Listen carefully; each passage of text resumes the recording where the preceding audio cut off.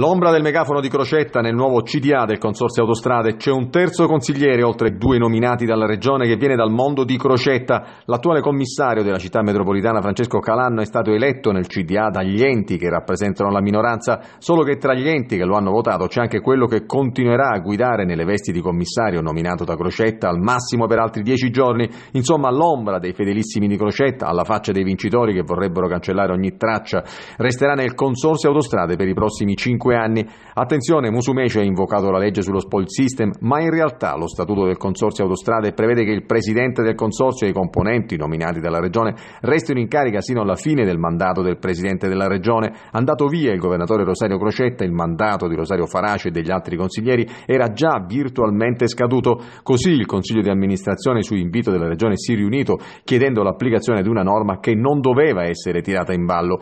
Comunque sia, i soci di maggioranza e di minoranza hanno proceduto alle nuove nomine, fuori Farace e fuori il dimissionario vicepresidente Antonino Gazzara, a presiedere i lavori il capo di gabinetto dell'assessore regionale alle infrastrutture Salvatore Lizio. Nessuna scelta politica per la sostituzione di Faraci. Il presidente Musumeci ha rinviato ogni cosa al dopo elezioni per evitare, ha spiegato, speculazioni. Così Alessia Trombino, segretaria storica di Musumeci, attuale capo della segreteria della presidenza, sarà presidente del consorzio autostrade fino a nuovo ordine. Maria Siragusa, coordinatrice della segreteria tecnica dell'assessore alle infrastrutture, sarà invece consigliere. Faraci lascia la presidenza dopo quattro anni e quattro mesi e si dice soddisfatto. Lascio i bilanci approvati, spiega, e finanziamenti per oltre 150 milioni che vengono dai patti per il Sud.